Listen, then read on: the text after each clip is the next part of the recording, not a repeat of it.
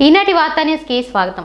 అనంతపురం జిల్లా అమడుగురు మండలంలోని శ్రీ చౌడేశ్వరి అమ్మవారి దేవస్థానంలో నూతన వస్త్రాలు పురోహితులతో పూజలు చేయించి అనంతరం అమడుగురు మండల శ్రీ మాతృ వృద్ధాశ్రమం ఆవరణంలోని అధ్యక్షురాలు అరుణ సోమవారం నాడు అమడుగురు మండల టైలర్ల మండల అధ్యక్షులు మంకా ముతక జయరాములు ఆధ్వర్యంలో అనాథ పురుషులు మహిళలు చీరలు జాకెట్లు షర్ట్లు పంచెలు వస్త్రాలు పంపిణీ చేశారు. ఈ సందర్భంగా విలేకరులతో మండల టైలర్స్ అధ్యక్షులు జయరాములు మాట్లాడుతూ టైలర్స్ డే సందర్భంగా నా సొంత ఖర్చులతో సేవా భావంతో ఇప్పటికీ మూడు సంవత్సరాల నుండి అనాథ వృద్ధులకు వస్త్రాలు పంపిణీ చేస్తున్నాను మండల వ్యాప్తంగా టైలర్లు వంద మందికి పైగా ఉన్నారు. వీరందరికీ కేంద్ర రాష్ట్ర ప్రభుత్వం ఒక్కొక్కరికి యాభై వేల రూపాయలు సబ్సిడీతో ఇవ్వాలని ఆయన తెలిపారు. ఈ కార్యక్రమంలో మండల విలేకరులు అధ్యక్షులు వార్తా reporter Valli P Venkataramana Gummala Dharmareddy Surya reporter tailors జవకళ Sappidi Narasimhulu Samudram Murthy తన కంటివారిపల్లి అశోక్ కుల్లాయప్ప రామానుజులు భాష గంగాద్రి తదితరులు పాల్గొన్నారు.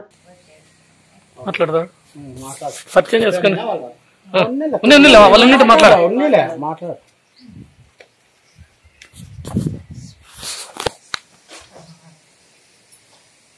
ఇక్కడ చేసినటువంటి అముడుగూరు మండల టైలర్లు మరియు పాత్రికేయుల మిత్రులకు అందరికీ నా నమస్కారాలు.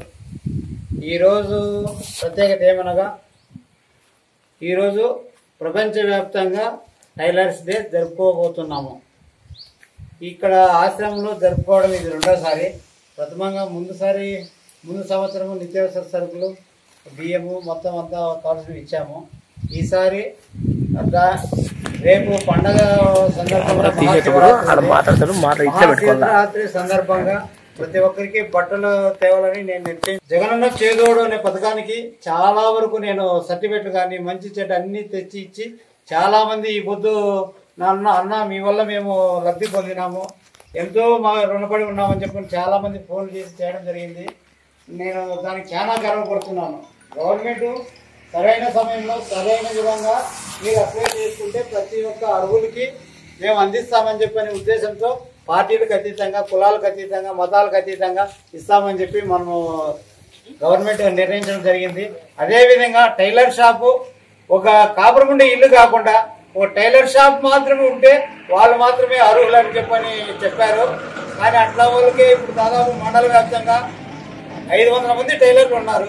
ఐదు వందల మంది టైలర్లు నలభై మందికి మాత్రం జగన్